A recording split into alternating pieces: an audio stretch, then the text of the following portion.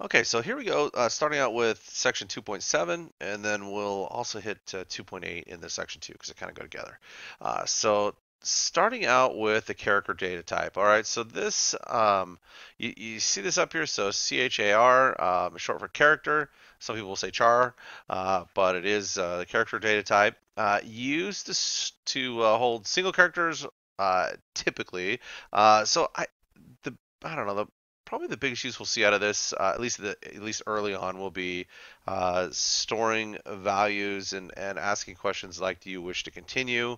Uh, y for yes, n for no. Okay, so and we'll do a character check for a y or an n, or any other characters the way it works out. And uh, so anyway, you'll see you'll see things like that. Uh, you know, doesn't take up much memory because it's one character, uh, and and you're good to go there. And then it's stored. If you if you I don't know if you're familiar with the uh, ASCII table, but uh, just to give you an example, so uh, if we use this and we have um, character and then letter equals, notice single quotes. That's the main difference between this and a string. Well, there's lots of differences, but you'll you'll instantly see that as a difference. Uh, and then semicolon here. I see. Uh, so our equivalent in decimal is uh, in our number in our decimal numbering system is a 67 on the ASCII table. Uh, so capital A starts at 65, B 66, and we end up with 67 here. So just I don't know, kind of a FYI thing. So if you, I, I think our book may even have an ASCII table in the appendix somewhere.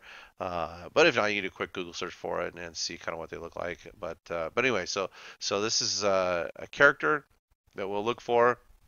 Uh, and typically, I mean, here we've got a little piece like this. So if we're using this, um, always single quotes.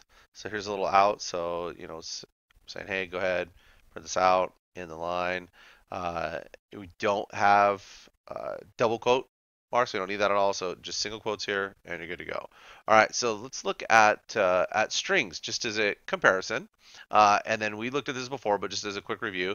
Uh, so storing a series of characters, uh, consecutive memory locations that we're looking at a string. So we've played with these a little bit already as far as output, uh, and we're going to look at the um, at string objects a little closer and the string class specifically in a few minutes in section 2.8. But um, we've got hello here in quotes, so hopefully familiar with that. You've seen this kind of stuff enough. Uh, if you want to use a quote in a string, you have to use the escape uh, sequence, which is the backslash quote, so that it doesn't end the string from quote here to quote here. And then you've got another one here too, so backslash quotes. We looked at that before. Um, but let's look at uh, just a couple examples of whether this is a, a character or string. So here we go. Uh, so is this, uh, let's see, character, a little, a single character, and close single quotes. Here we go. So single quote here, single quote here. Here's our C. that's an easy one as a character. Our string, uh, strings that we're using in dual quotes. So we've looked at that before, right? If you see this, where you see double quotes around a single letter, uh, just trying to be a little tricky here. This is actually a string uh, because it is in double quotes. Okay, so it uh, it's not the same thing as a single character. All right, so we will use um, characters some. We won't use them a ton, but uh, enough to play with. And like I said, things like you know why to continue or no to quit those kind of those kind of uh, checks. You'll see you'll see some programs with that and kind of gets us to play with them a little bit. And then there's some other things later on down the road that we'll use it for but uh, for now it's sort of a common thing. All right so let's take a look really quickly at 2.8 and uh, this is the only slide i have for the, the 2.8 uh, section. So the string class. All right so we've seen strings but we have to have a new hashtag include if we're going to use them uh, like we've been using variables like ints, right? So uh, if you see this in here, so here's our, uh, we're defining a string and we're saying, hey, we're going to name this name. All right, so just like we use int right here. Uh, and then you can assign a value. So here we go. We're saying now name equals. You have to put it in quotes.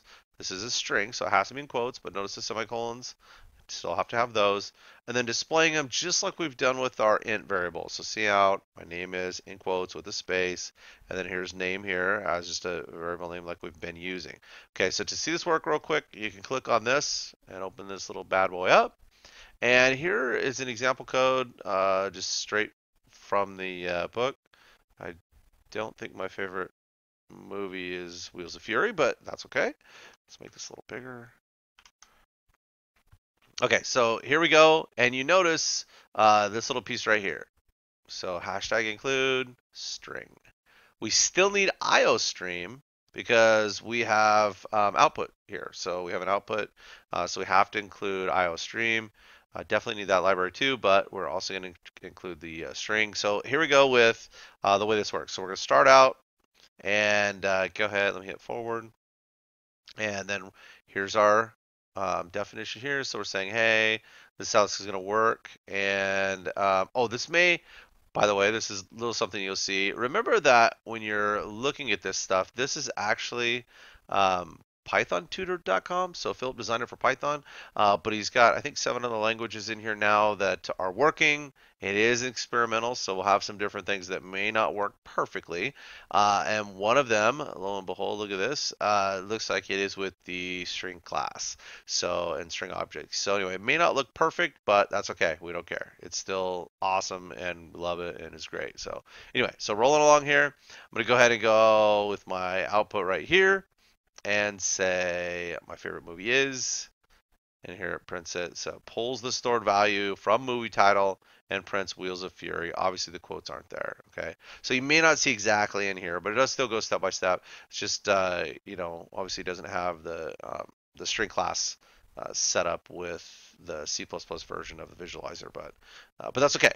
That's okay. We still we still like using it. All right, so we're good to go there. Uh, and oops, sorry, didn't finish the program out, but that's done. So return zero, and we're all good. Okay, so just you have an example here to play with, and uh, the link is right here, just in case you were curious. And hopefully it's pretty straightforward, and, and you got it down.